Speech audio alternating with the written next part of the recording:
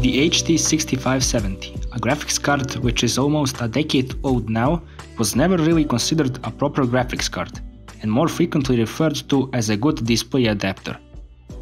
And it was certainly not designed for a gaming purpose in mind.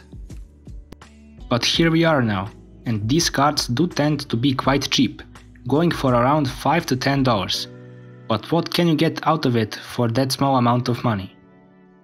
featuring only 1 gig of GDDR3 VRAM alongside a 128-bit memory bus and 480 shading units, it most certainly does not fall into the category of gaming GPUs. But nevertheless, I decided to put this GPU to the test against some modern-ish titles and see how well it performs. Thank you.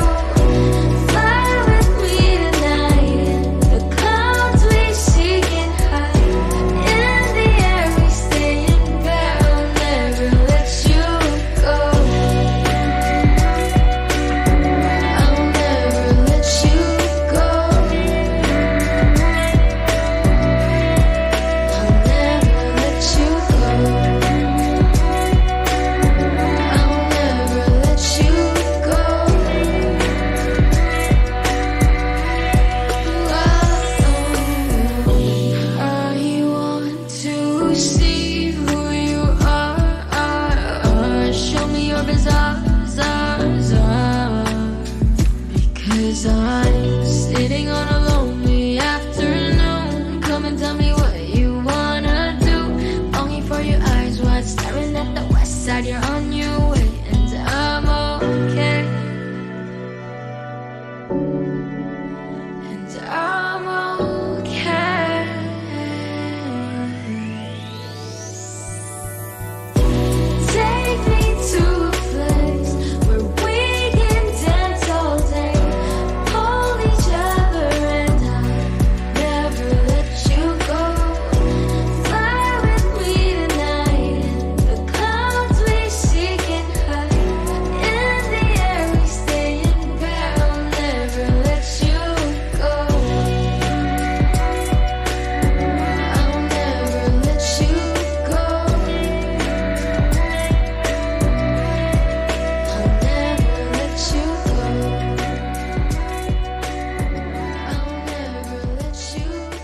So as you have seen in this small group of games I managed to test, the GPU does have some chances of running them somewhat smoothly and with good frame rates.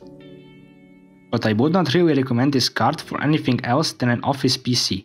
It is really very weak and has very outdated drivers, which does make it really hard to find a real use case in 2020.